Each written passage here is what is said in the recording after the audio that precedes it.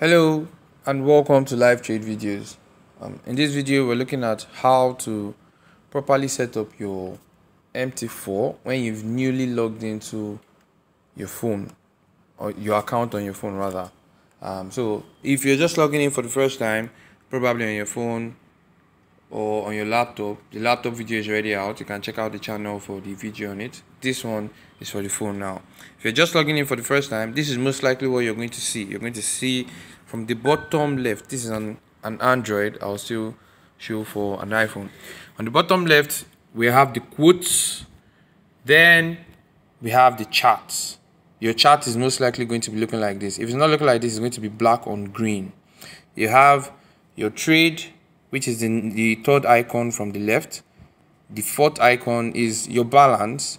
This is for news, and these are um, like updates from MKO4. So we start again from the first one or message from MKO4.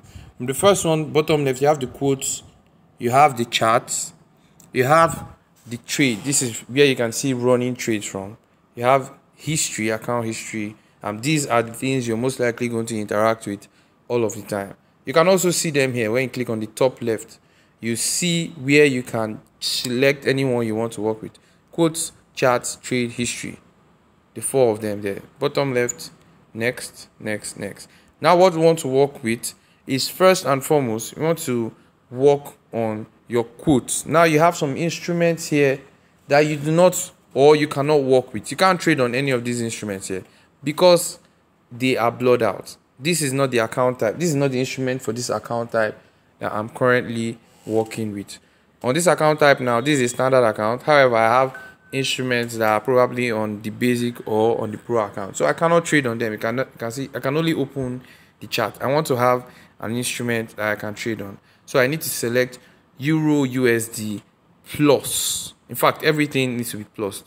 What do I do? I click on the top right hand corner that shows this pencil sign. You can see this pencil sign here. Once I click on it, I'm clicking on it to edit. To edit. So I'm going to click on the dustbin icon here. And I'll select all. Now I cannot select all of them because Euro USD currently open on the chart. So I'll first of all delete the ones that are available to be deleted. Bam. Now I can now add in a new set of instruments. I can add in a new set of instruments. For instance, click on the add sign. And since I already know them off of the top of my head, Euro USD, I can just search for EUR. I can search. You see here, I can search EUR USD. And once I tap on it here, it adds in. So you go back to my quotes now. You see Euro USD plus has been added in. Now watch if I click on this euro, hold on, let me go back. If I click on this euro USD plus, you see that I can place a trade. I can come to the new order and place a trade. Unlike this particular one that I couldn't do anything. In case you're having that mix up, all right? Yes. So moving forward, I'll click on this one and open the chart. So now I have the euro USD chart open and I can delete the former one. So I click on the pencil sign let's go over it again this is chart trade history quote so what i did now was to open the chart open chart here and i came here. Now that chart i go back to quotes to work on these. I click on the pencil sign. I click on the dustbin icon. And i delete the euro usd that doesn't have a plus. Voila. It's done. Now i can add in different sets of instruments. I click on this addition sign. And i can scroll through. You see these folders? These folders contain different instrument types. If i click on the majors std that's standard i can see aud usd I, if i want to trade on aud usd i can add it in aud usd I want to trade on gbp usd i can add it in gbp usd cad or usd chf or usd jpy i can just tap all of them and they would reflect automatically here on my quotes i can also see other instruments other instrument types like commodities. You see indices and COM, that's commodities STD3. In here, there's just US 100, wheat, and some other ones. Um, you can just you can select as much as you want. Just make sure you know what you're doing. Make sure you know the instrument you want to work with. There are also the precious metals. You see gold, silver. If you trade on silver, there is um there are some instruments here as well oil there's us 30 us 2000 us 500 this is under indices and commodities std1 so you can add those ones in. If you come all the way here you see de30 and this is std add that in that's de30 um which other one? Usd idx oh i love this instrument so much. The usd idx which is the dollar index. So you add it in as well just so that you're not limited to only the instruments i've chosen here. You can still go through and select as much instruments as you want understand? You can select as select as much instruments as you want for instance gold let me search for gold. I think i might have oh i've added it in already. That's why it's not showing here. Uh-huh, look at it. Gold. Now i have selected these instruments and i can open the chart on them. This is the chart on aed usd i can open the chart on euro usd this is the chart on euro usd to edit the way this chart looks to make it a bit more um, similar with the one that other people use that's the green and red. I can just change it from here. All i need to do is click on the top left. When i click on the top left i'll click on settings. When i click on top left again you see this drop down this one two three three three bars there. It's a drop down. I click there and i click on settings. So upon clicking on settings i'm ready here. This is the settings now. Understand this is the settings now. Now i can now edit some things that i want to edit. For instance i can change the um, colors. That's what i want to work on. The color scheme currently is black on white. If you were green on black this is what my chart would look like. If you were green on black i'll just change this now. Hold on settings colors. Oh i didn't say done. Green on black. Once i click on done now and i come back to my chart this is what my chart is going to look like. So if your chart looks like this no problems. We're working on it now as well. Settings colors. I want to once I click on colors, I want to work with black on white. Black on white. And once I'm on black on white, there are just two things I'm going to work on here, which is the bull candle. For the bull candle, I want it to be green. It shows when the markets or the um the when the prices are going upwards. So the bull candle, I can make it this lime green here this dark green. However, I prefer the light green. Green, then bear candle red and dawn Once I click on dawn come back to my chart. This is what my chart looks like. Understand? This is what my chart looks like. All right. So you're good to go now. You've currently set up your chart to look similar to other people's chart. There is also, if you select any instrument, any other instrument, for instance, open chart, it still remains like that. It still remains the same way. What else? quotes you have your instruments here now you can select any of them trade on them as well you can trade directly from here you can just click on the instrument you want to work with with for instance new order you place a buy or you place a sell or you can come to this trade here when you come to this trade here you can click on this addition sign this folder like sign with an addition on it and it knows you want to place a new trade yes it knows you want to place a new trade so you can place a trade from here as well. Select what type of trade you're trying to place. Let's go back to the chart. Now, while on your chart, there are some tools you would be able to take advantage of. For instance, this F here, this F is trying to tell you that you can add in indicators to your chart. You understand? The main chart is this one up here. This one up here. This one showing the candlesticks.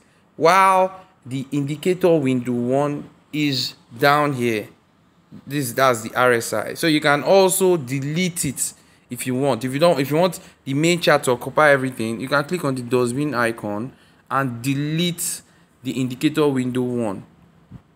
So once you click on that delete, you see that now there's space. Everywhere is just made up of charts. Understand? You can also add it back in. Click on the F. Click on F here. And you can see that there are different indicators for you to work with some indicators need to occupy the bottom um, bottom half of your screen.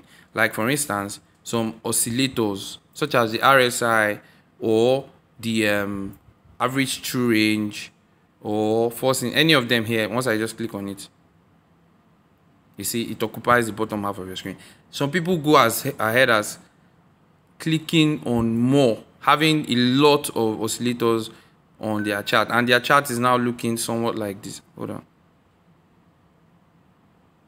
RSI okay it added on it. Hold on. Uh, if I add in another indicator now for instance um, let's see. Stochastic.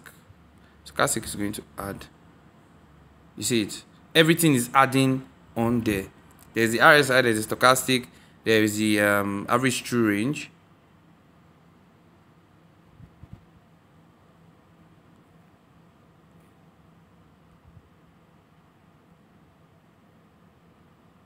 and this one as well has added in there. Okay um now this is the i iphone view. Um if you're logging in for the first time on your iphone your chart is most likely like this. Um you have your quotes. It is already spelled out at the bottom quotes chart trade history and settings. Quotes chart trade history and settings. Now if you try to open any instrument here. You can't trade on it remember because it doesn't have the plus sign the addition sign telling you that this instrument is not tradable on this account. What you need to do first and foremost is to add in the correct set of instruments. You can click on the pencil icon here and select the ones that are currently here. Take them out delete them. You understand? Select them delete them. Click here add in the correct anyone. You can add in them all or you can add in a single one all right for instance, I can add gold now. I click on gold, I search for gold, and I click on add. And I add that in. So I have gold now. I can open the charts on gold, and oh, this is gold, very good. Although it's still black and green. Now I can delete this last one, which is USD RON. Let's show, let me show you. Let me show you the difference now. Watch as I try to place a trade. I want to place a trade on gold. You see, I can trade on it. It allows me trade. I can click on trade, and I can click on buy, or I can click on sell. But when I try to place a trade on USD RON, you see, I can't do that. I cannot do that. So I need to take it out. Delete. Now I can add in the correct set of instruments I want to work with. I want to work with gold. I can search in here. I can just do, oh, US 100. Hold on, let me check something. All right. So I can search US dot 100 actually, not US 100, US dot 100 so you see us these are the us indices. You can find them other indices and come std1 right? You can come here and add in us 100 you can go back here majors F fix you see there's no plus sign here. I don't want to work with any of those. But i want to work with are the ones that have the plus sign. Aedusd for instance i can add it in. Add. I need to click on the add sign. You see this add sign. I need to click the USD CAD. I can add it in GBP USD add it in. If I wanted to trade on um, sugar, for instance, S U G A R, or I can open each of all these. This Euro USD, add it in. I can open each of all these and search for sugar. Yes, and look at corn, add corn in, like that. And before you know what's happening, you have your quotes correctly set up. So any instrument you click on here, you can trade directly from here, or you can trade from your chart, depending on the instrument that you have open. Now for gold, for the chat menu, I do not like, I personally, like I said before in the other video, do not like to see my chart like this. So what you need to do is come to settings here. When you come to settings here, bottom right, you click on charts. Click on charts. After you click on charts, you can now change the way you view your charts. I want to first of all select candlesticks. Now, if I if you go back to your chart now, you see that your charts are present in candlesticks all right candlestick view. Then the next thing you want to do is click on charts here and change the color colors. So i want to select black on white. And there are just two things i'll change in here. The bull candle i'll make it red. The bull candle i'll make it green rather lime green. Then the bear candle i'll make it red. And save. Voila once you come to your chart now this is what your chart is going to look like. This is what your chart looks like now. You can scroll forward or backward. Some people have their chart zoomed in to the max like this. You can zoom out as well. You can together to zoom out. Um like this the way you zoom zoom in on the photo you understand? The way you zoom in on the photo that's the same thing you do here. So you zoom in or you zoom out and you have your chart like this. The same thing applies on the android. You click on f and you can change whatever or adding indicators to your chart. You know, you can add in indicators to your chart.